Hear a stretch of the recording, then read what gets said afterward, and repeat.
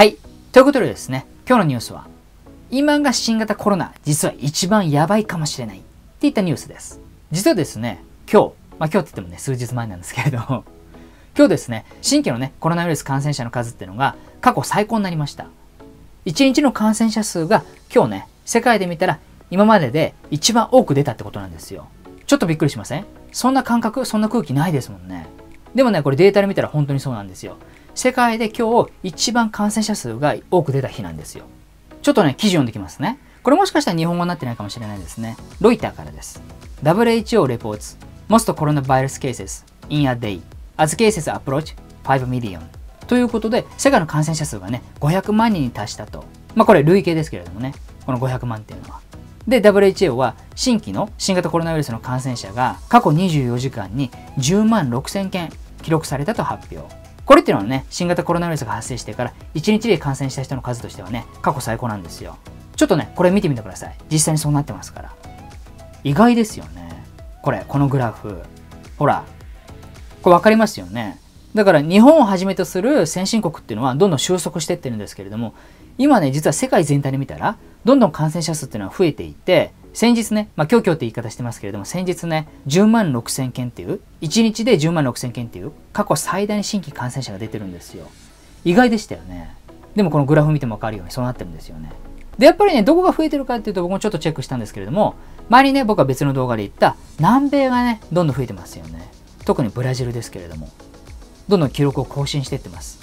あとね、ロシアとインドなんかも全然増えてるんですよ。ロシアはね、ちょこちょこ報道されてますけれども、インドっていうのもね、実はね、まあそれは感染者たくさんいるんでしょうけれども、今もね、どんどんね、ひどくなってる、増え続けてるんですよ。1日の感染者数でもね、過去最高っていうのをね、更新してるんですよ。で、今言ったね、南米とかロシア、インドっていうのは感染が始まってどんどん増え続けてる。全然ピークを迎えてないってことなんですけど、またちょっとね、違ったこともあって、これもちょっとね、ロイターの記事なんですけれども、コロナウイルス behaving differently in China's Northeast Clusters Expert says っていう記事なんですけれども、これね、最近中国の吉林省と黒竜江省で新たな感染点が出ていて、まあ、だからいわゆるクラスターってやつですかね。まだね、そんなとんでもないってレベルにはなってなさそうなんですけれども、やっぱりね、今までが今までの経緯がありますから、いち早くね、これ都市っていうのを封鎖してるんですよ。今中国では新たに、この時期になってもね、新たに封鎖された都市っていうのが最低でも2つはあると。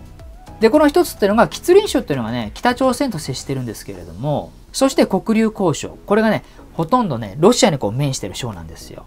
そういったところで新たな感染というのが報告されていて、そしてね、これ問題なのが、これらの省で新しく発生してるね、新型コロナウイルスっていうのが、前のものとね、ちょっと違うってことがね、発表で出てるんですよ。これがね、気がかりだと。どういうふうに違うかっていうと、前よりもね、こう、感染してから症状が出るまでに時間がすごく長くなってるんじゃないかっていう、前とちょっと違うんじゃないかっていうふうに言われてるんです。だから前より潜伏期間が長くなったウイルスってことです。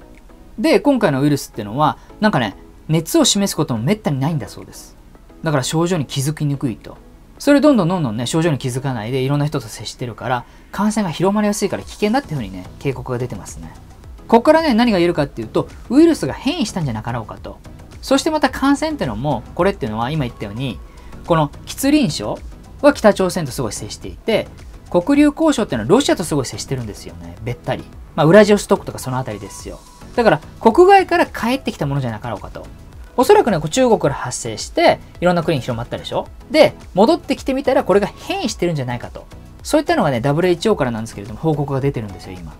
だからちょっとね、気がかりですよね。でも本当にウイルスってのは面白くて、以前あったね、SARS とか MERS。ああいったのはすごい症状がひどかった。もうだからかかっちゃうと本当にひどくて動けないんで、なんか他の人に感染させてる場合じゃないんですよ。だって感染したらもう動けないから寝込むでしょ？移動しないと。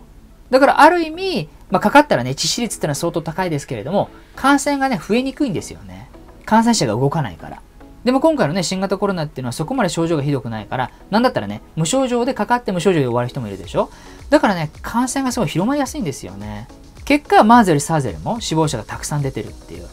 そして何よりも面白いのが、まあ、面白いっていうか興味深いのが、ウイルスってのはね、変化するって言われてるんですよね。で、なんで変化するっていうと、まあ、言われてる一つの説としてね、ウイルスが生き残ろうとしてるからって言われてますよね。だから SARS とか MERS だと、その体の中でね、すごい広がって、まあ、繁殖するかもしれないですけれども、これね、感染した人っていうのが死んじゃうと、ウイルスっていうのもね、全滅してそこで終わりじゃないですか。でも今回の新型コロナウイルスみたいな感じだとね、その人を殺すことはそんなないかもしれないですけれども、その分、いっぱいね、感染者が増えて、全体で言うとね、このウイルスっていうのは世界で生き残れますよね。SARS と MERS とは違ってね。だからそういったウイルスが自分が生き残るために、もしかしたら今回変異して潜伏期間っていうのをね、長くしたかもしれないんですよ。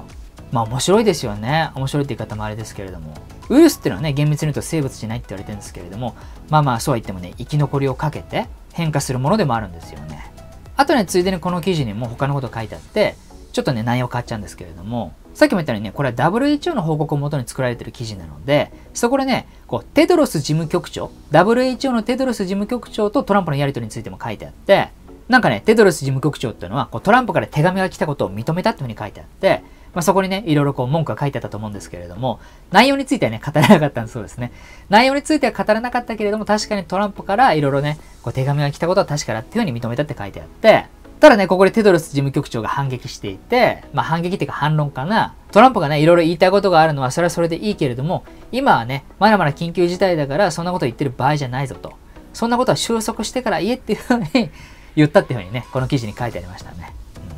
まあということでね、今回のこの動画のまとめとしては、実は今ね、僕ら日本人とか多くの先進国からすると新型コロナウイルスっていうのはね、ちょっと収束しつつあるように感じてるかもしれませんけれども、世界全体で見たらね、まだ1日の感染者数、最高を記録したっていうことで、これ10万人以上ですからね、勢いは世界全体で見るとまだ衰えてないってことを知っといた方がいいってことと、あともう一つ、ウイルスってのは変化していってる恐れがもう出ているっていうことです。はい、今日はこんなところでございます。